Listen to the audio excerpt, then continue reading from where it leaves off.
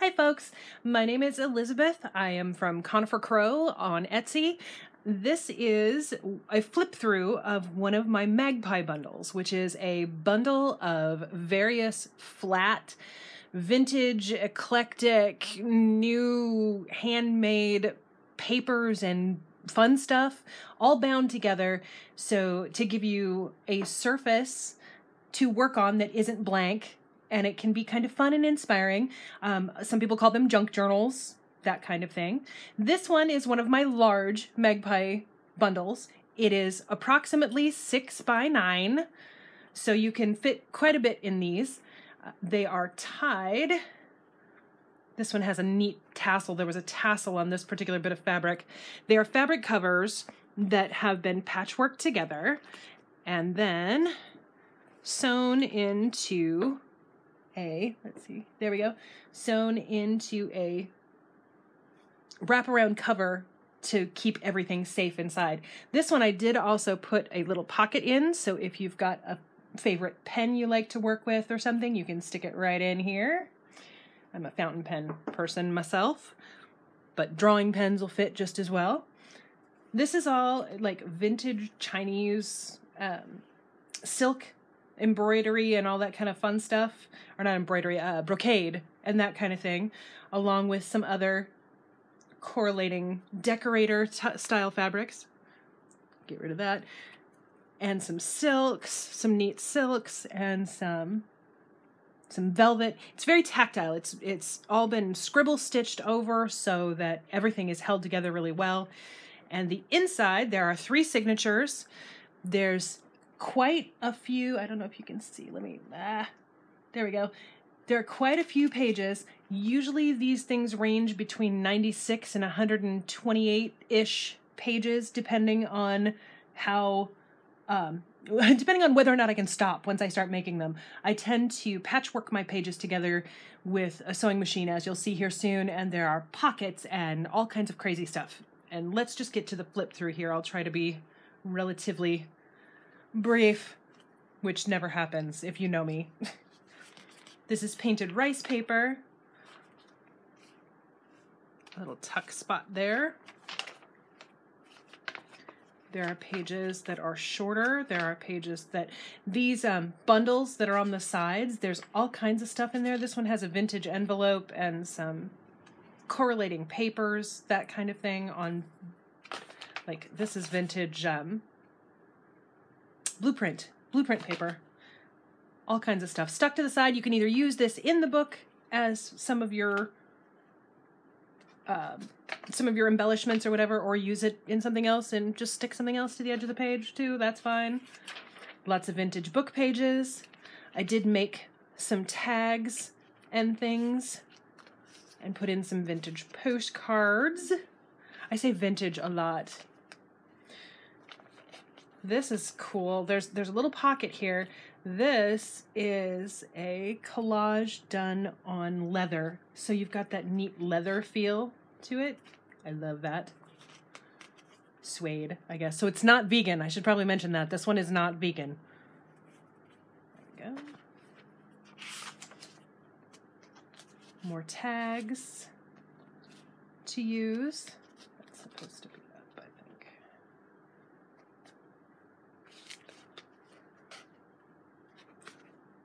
There's a flip here.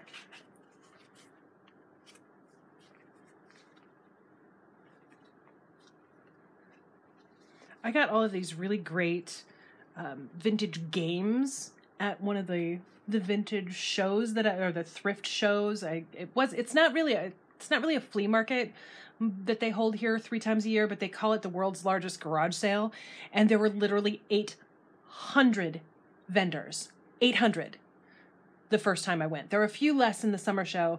Apparently, the fall show though is the biggest one. The spring show is 800. If how can you get any more than 800 I think I would just fall over. I'm I don't know. But there were great deals and great stuff. So I stuck a lot of that stuff in here. This was one of the things and a fortune telling fish. If you've never seen those, those are kind of neat. There's all kinds of stuff in here. This paper, by the way, I, I hand coffee dyed this, and it is thicker than regular paper. Works fabulously with fountain pens. More papers. This one, by the way, is called Eastbound. Um, I, I, even though it was inspired by the Chinese decorator fabric, I was reluctant to go kind of full stereotypical Asian with it. I didn't want to be culturally insensitive. So there's more of a world feel, like a world traveler feel to it, kind of a I would say Silk Road, but then again, we're getting really toward insensitivity, but you know what I mean. So I tried to keep it as as sensitive as I possibly could while still being travel related. Going on a pilgrimage. These are actual vintage photos that I got from a thrift store. More. It's a little tuck spot.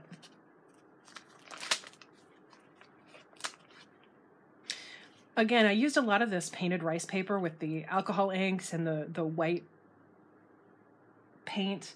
Um, I love how this stuff feels. It almost feels like fabric. It's the neatest stuff. When you get it and you touch it, you'll know what I mean. It's amazing. Lots of vintage book pages again. This will act as a tuck spot. You can shove something underneath there and it'll stick. Some more cards to use for journaling. Random ephemera. I like this. I don't think, I think that's sewn in. It is.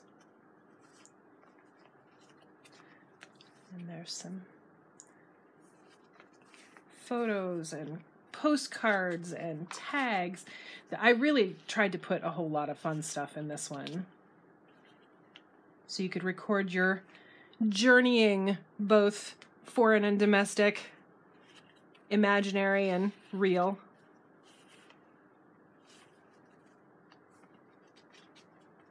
Sometimes imaginary trips are better. There we go.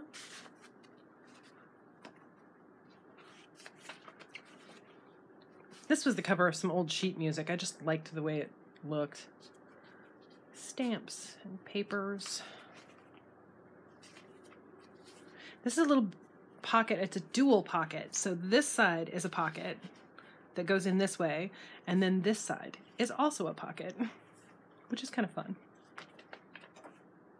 Two pockets for the price of one. I do leave my strings long a lot of times because I kind of like that look. It sort of adds to that whole messy thing that's going on. You can certainly clip them off and it's not going to fall apart though, just so you know. If your aesthetic is a little cleaner.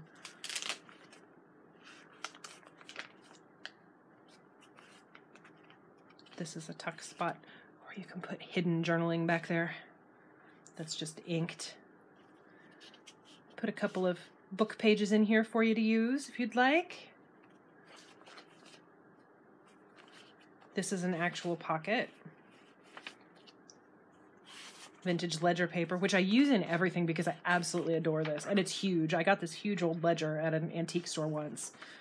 And I have been using it for, geez, almost three years now. And I am not even close to using half of the paper. This is a booklet for extra journaling space if you want to write things down. Some more game pieces. This is fun. I like using envelopes and things. So I tucked a page in there and sewed around it so you have the envelope still, but it doesn't look like an envelope stuck in, which is fun. And I don't know why I used him, but he, he just looked hilarious there. Some more cards, and then there's some more ephemera down in here too, but there we go.